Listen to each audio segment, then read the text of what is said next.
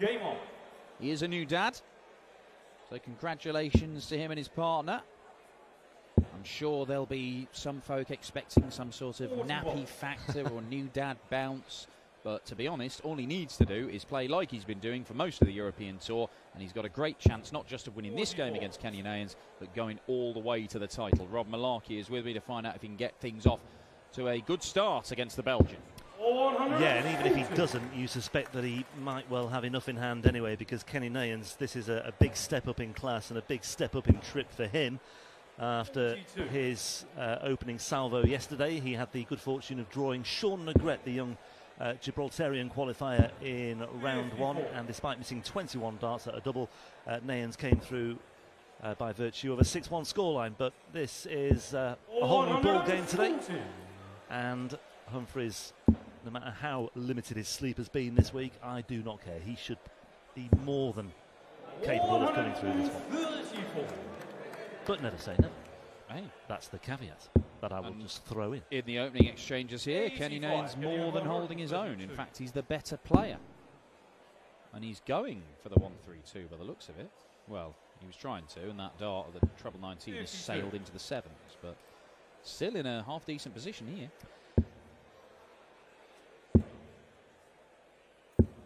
All of a sudden, it's looking a little more precarious. Yeah, he's going to have to. I mean, that's a huge blocker there from that left-hand dart. Oh, my word, he's done well to squeeze that one in. Steps over to the right-hand side of the oche. There was a bit of left-hand side on that one, and in it goes for one 0 to Kenny Neyens of Belgium. 44. Lovely dart. Echoes of last year for Neyens, as we said yesterday, beat a, a Gibraltarian player in round one 12 months ago in Gibraltar before losing 6 0 to Jose de Sousa. Won't be losing 6 0 tonight against one of the, 140. or the top player in the field, the number one seed on this occasion. Yeah, winner faces Wesley Plaisier, who came through against Dave Chisnall. A win which personally I thought put him in the European Championship, but not actually the case. So he's going to have to win his next game against either Luke or Kenny to get himself to Dortmund. 27.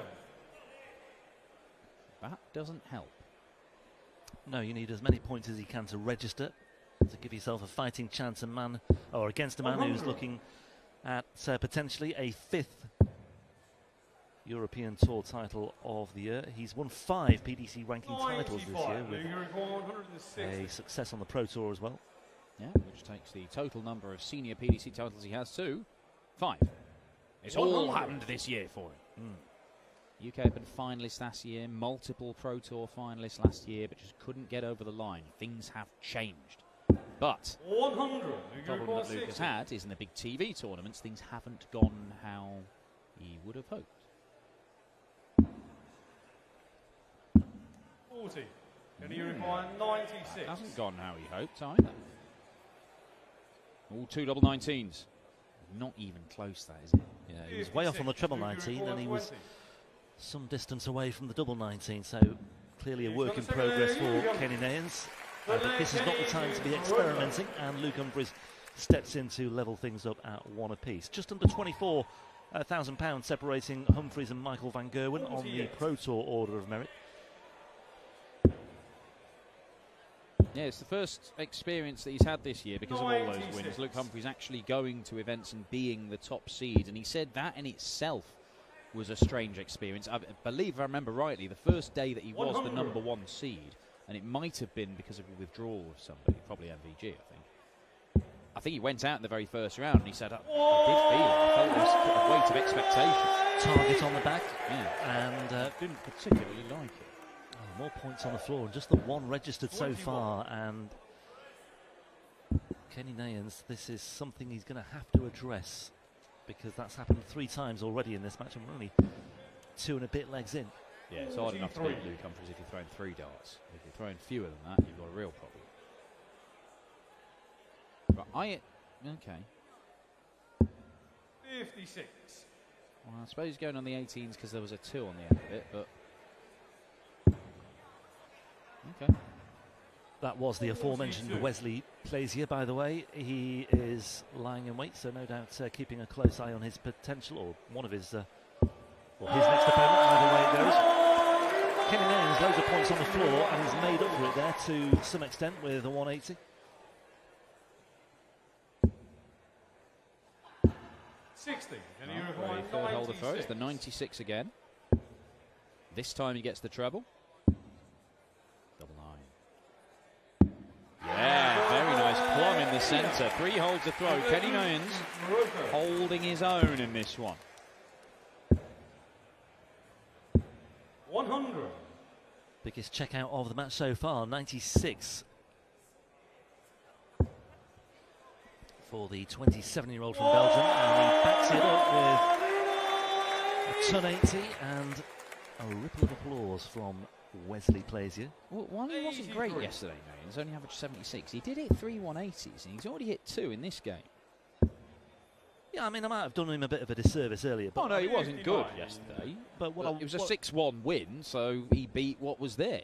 he will probably come into this thinking this is maybe a good time to play Luke Humphreys. I mean, who knows what his mindset is right now, but there is certainly a lot of logic to that argument. Well, he, do- he doesn't seem a, a lad short on confidence, Kenny 92. And Well- he has beaten Luke Humphries. Beat him in a, a development tour semi-final. I mean, admittedly, that's five years ago. But he was a contemporary of his on the youth system require field. 170? Yeah, well, very similar ages, aren't they? Luke Humphries, yeah, 27 as well, isn't he? So, in fact, there's only only a month between them, less than a month between them in terms of the age. So, as you say, two contemporaries who perhaps know each other very well from their exploits in the past. But Humphries, with that 78 checkout, levels things up once again at two apiece. Intriguing start to this one. Neyens, I think, will be of the two, perhaps the more satisfied with how things are going. Of course, it's all about whether he can keep it up Yeah. on throw, especially. W- You would think come the end of the game, if Kenny Neyens is still averaging 82, as he is, that 58. won't be enough. But we're four legs into this, and Luke is not anywhere near his top game. He's got a chance. He's giving himself a chance. 135.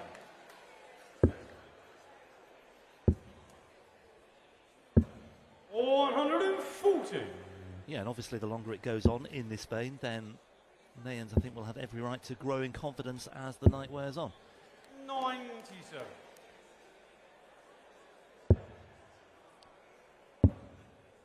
Should get down to a finish first here, Neyens, from 2 to 8. Welcome, Nana and Grandpa. That's something else Humphries has to look forward to in later life, maybe. Ninety-six. One step at a time, though. I think so. Yeah, yeah.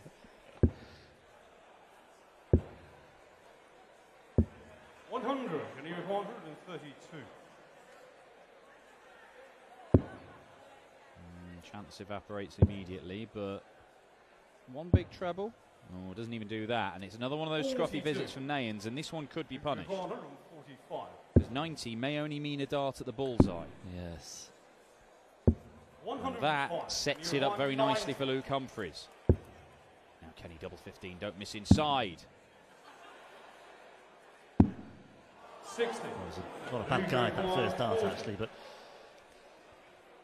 didn't really make any use of it double 10 now for Humphries for the break of throw and he squeezes that one in. is that the game changer? Is that the turning point in this match? Humphries leads for the first time. Six flag loop to throw first. Game on.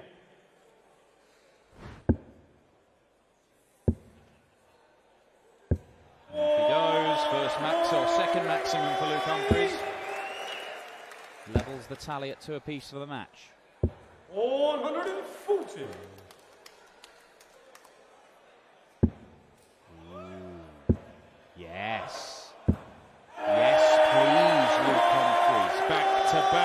This is the place to do it, as we discussed yesterday.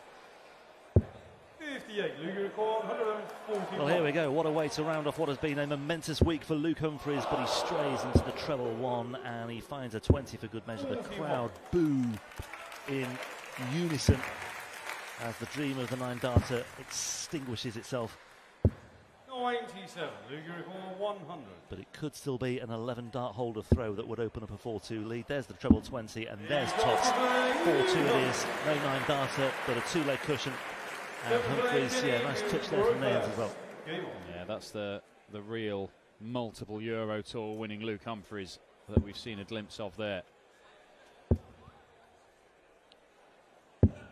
And there's a temptation to inscribe a narrative for this. Well, he was battling, he was battling, wasn't playing well. Soon as he got that break and got ahead, all of a sudden, yeah, I've got this game. Relax, play his proper stuff.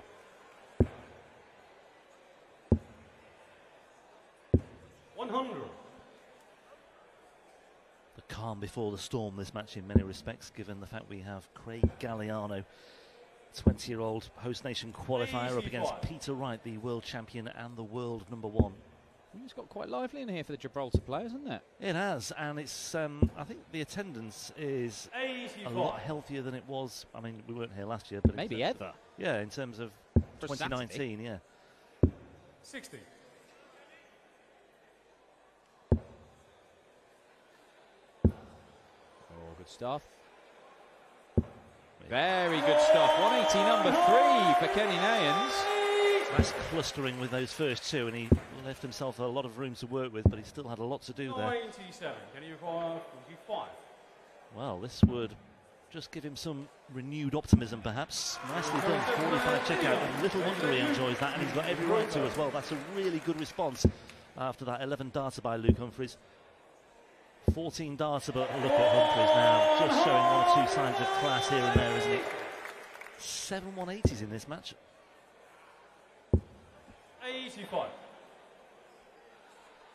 Can he go back to back again? No, is the answer. Nine. does pick up one treble just to maintain Kenny Neyens at arm's length. 96. Well, whatever the outcome of this match, I think Kenny Neyens can take a lot of credit from this, and I think he should use it in whatever way possible in terms of taking the next step, particularly with the stuff that he's doing on the on the Challenge Tour as well. We mentioned that title that he won on the Challenge Tour earlier this year. 48 here for Humphries, double 16, 5-3, another 11 dart holder throw, back to back for Luke Humphries, and the number one seed and the four-time European Tour champion this year going well, going well once again. Yeah, and just a first trace of a smile there from Luke Humphries, wasn't there? 27. He's got in front and then he's held both times in 11 darts. You're forcing your opponent to hit a 9 darter, and right now Luke Humphries is probably feeling he can't take this game away from me. He's completely in my hands. I'm throwing well, I'm finding the trebles, I'm hitting the doubles, and I've got multiple opportunities to, even if I don't close it out with a breaker throw here, I'm going to have the darts. And I just pluck another 11 darter out of the air. You cannot beat. Well, there is every prospect that he could produce an 11 dart breaker throw to seal the match. Needs something big here, and he wouldn't put it past him. 100. Oh, he's down to a finish. Maybe a 12 darter then. Needs another treble to get to a finish himself, Kenny. He's got that. Can he make it another maximum? That is a fourth for Kenny Neyens. 180s all over the place tonight. Yeah, doff of the cap there. Once again, five for Humphries, four for Neyens, who's played his part and what I think has been a really competitive match, but a match that should well end and could well end very soon in favour of Humphries, but you never know. Double 16. 78. Well, that would have been for a holder throw. As it is, Neyens has to hope and pray now that Humphries can't find double 18. 14 darter incoming maybe on nines, and there it is. Well, Luke Humphries was given a bit of a workout in the early stages of that one, but in the end he showed his class. Those two back-to-back 11 dart holder throw really proving quite telling, but I think Kenny Neyens can take a lot of credit from that performance. And like I say, I hope he uses it to good effect moving forward in his own development and in his own career as well. Humphries, number one seed, still on course for Euro Tour title number